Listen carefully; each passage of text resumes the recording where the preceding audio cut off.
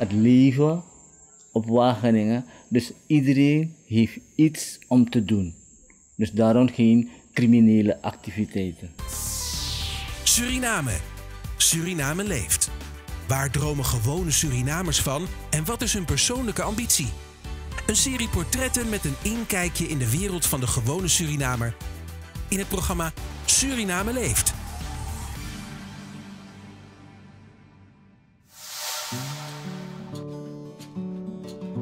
Voor deze aflevering reizen we af naar het stadje Wageningen, waar we op zoek gaan naar de wederopstanding van het ooit in slaap gevallen plaatsje in het westelijk deel van Suriname. Wageningen is een stad die onderdeel is van het westelijk district Nikeri. Het Surinaamse stadje Wageningen ontleent de naam aan de Nederlandse stad Wageningen, waar vandaan er vroeger agrarische experts naar Suriname kwamen om de rijstindustrie in het Surinaamse Wageningen op te zetten. Wageningen diende in de vorige eeuw als de rijstschuur voor vele delen van de wereld. Het toen opgezette reisbedrijf SML was de belangrijkste bron van werkgelegenheid en productie in dit plaatsje. Met zelfs een eigen aanmeerplaats waar de boten kwamen om rijst in te laden voor export naar andere delen van de wereld. Nederland kocht toen de tijd, ja toch? Ja toch? Maar het export van de SML was in Nederland. Daar heb je, daar heb je die bocht. En, en die gaat naar Marataka, naar Cupido. En deze rivier gaat rechtstreeks rechtdoor naar Tapuripa. Boven, boven, um, je, van daaruit kan, kan je bij uh, Donderskamp gaan en dergelijke, toch? Daar kun je alleen komen met de boot. Met de boot, alleen met de boot. Alleen met de boot. Maar daar rijden geen auto's aan. Nee, dat, die, die, tijd, die, die, tijd, die, die tijd waren, waren, waren, waren die wegen niet goed. Ja toch? In die tijd hadden, hadden ze geen Oost-West verbinding en zo. Dus via het rivier naar Paramaribo, toen de tijd.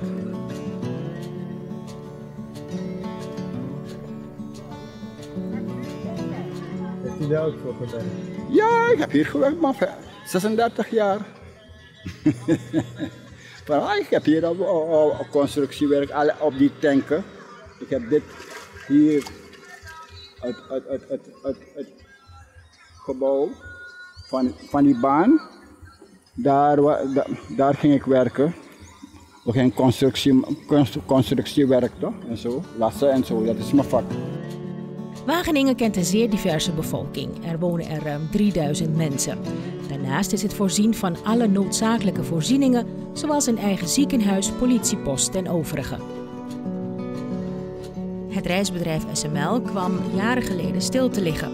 Het werd een aderlating voor de dorpsgemeenschap, die vrijwel allemaal daar aan het werk gesteld werden.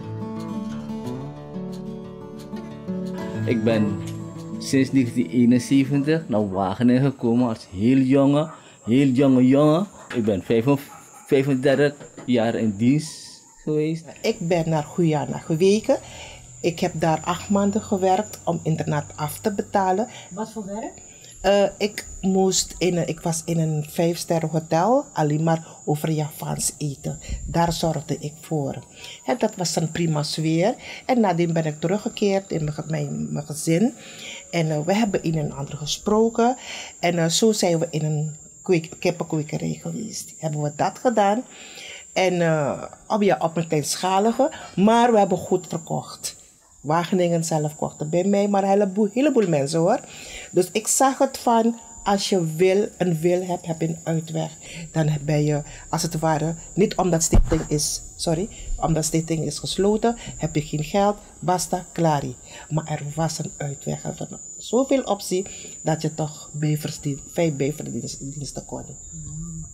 Nadien ben ik eh, aangenomen als buschauffeur om school, schoolkinderen naar Nikeri te rijden en zo vervoeren naar, van Nikeri naar Wageningen en van Wageningen naar Nikeri. Dus het is, ik heb het al zo'n bijna 7 tot 8 jaar gedaan.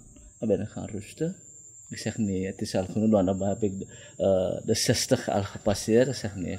Maar het is toch nog dat de mensen achter me aanlopen die, de, die zoveel bussen hier hebben. En ik heb toch nog, nog een jaar of twee nog gereden. Maar anno 2020 is Wageningen dus weer volledig in bedrijf. Met de wederopstanding van de reisorganisatie zijn de bewoners van Wageningen weer aan het werk en genieten ze van het leven. Na een aantal jaren is er nu een andere, een andere eigenaar gekomen. En ze hebben het uh, hele SML weer opgebouwd. En nu hebben de jonge kerels, de jongens die van school zijn gekomen. En ze hebben eigenlijk, als ze naar de stad moeten gaan, moeten ze toch uh, een huis hebben om te huren en zo, om te werken. Maar hebben ze, ze vinden werk hier, waardoor het sfeer van de jeugd. Er is een, uh, een, een, grasmat, een, kunstmatig uh, veld voor ons opgezet. Er is een, een, een speeltuin voor die kinderen. Dus nu hebben die kinderen eigenlijk geen uh, behoefte meer om uit Wageningen te gaan. En mevrouw Rita, wat doet u allemaal in het dagelijks leven nu? nu is op een uh, laag pitje. Maar u bent, we hebben begrepen dat u een heel maatschappelijk betrokken mevrouw bent in Wageningen en heel bekend. Dat klopt helemaal. Waar, wat moeten we weten over u? We geven de vrouwen trainingen, waardoor ze nu, uh, die, de, die de trainingen hebben gevolgd, toch een bijverdienste hebben. Zoals de vrouwen die kniples volgen, kunnen ze hun kleren, kleren stikken en dan voor iemand anders dan waar ze hun geld krijgen. En ook bloemen schikken. En dan hebben ze ook leren cake bakken. En uh, heb je dan ook een uh, bestuurlijke training waar de, waar de vrouwen zich denken van hé, hey, ik ga niet alleen maar iets doen, maar een, een, in een organisatie waar wij andere vrouwen kunnen helpen. Waar leeft men van? Het hele leven, de productieleven van de mensen van Wageningen. Er is een reisbedrijf. Het is helemaal uh, gecontinueerd. En de meeste van ze die echt niet van werken houden en die gaan vissen. En ze verdienen hun dagelijkse brood met vissen. En nu is er uh, een aantal landbouwers die agrarische uh, producten zijn te planten. Die, er is een hele groep. Ze hebben een, een grote veld gehad, waardoor ze uh, een halve hectare iedereen, een halve hectare hebben gehad om te planten. Met dus, wat? dus groenten. Dus ze gaan groenten, alleen maar groenten planten en vruchtbomen erbij. Dan die gaan ze verkopen naar Nikeri en naar de stad toe. Daar is, is Post Utrecht toch? Post Utrecht. En als je, als je verderop gaat, dan ga je, hé, hey, oké, okay, gaat u gaan. Van de overkant. Hebben jullie een eigen boot? Jawel. Oké, okay, dus jullie gaan zelf varen? Ja. Oké. Okay.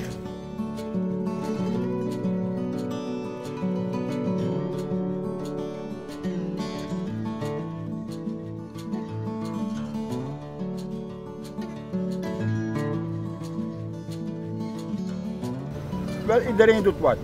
Iedereen doet wat. Ze, ze, ze hebben ook um, werk bij de, bij, de overheid en dergelijke. Dus iedereen doet wat. Dus niemand blijft vogels vangen, vissen vangen en verkopen. Dat, dat is Wageningen. Dus iedereen, niemand zit, iedereen doet wat. Ja toch? Zelf ik, ik ga naar de bos, ik ga mijn vogels vangen en ik verkoop. Ja toch? Als ik twee of drie picolet krijg, is, is, bijna 300, 400 gulden. Alleen voor de dag. Dus iedereen gaat wat mee. Ja toch, iedereen doet wat. Ze gaan vissen vangen. De grootste, de grootste gedeelte, kijk, kijk momenteel zijn ze daar, um, dan gaan ze jagen, vissen en dergelijke. En dan komen ze weer verkopen. Wageningen leeft ja. We blijven leven. We moeten doorgaan. en dit is, dit is naar mijn pranasi. ja toch? Er is uh, geen uh, diefstallen, we hebben geen uh, last van uh, kwajongens, van dergelijke om, om je spullen te komen weghalen en zo. Nee, die, die hebben we niet. Dus je kan gewoon met een open deur slapen s'avonds. Het lijkt dat Wageningen saai is, maar wij hier op Wageningen, Wageningen leeft. We leven in Wageningen en Wageningen leeft.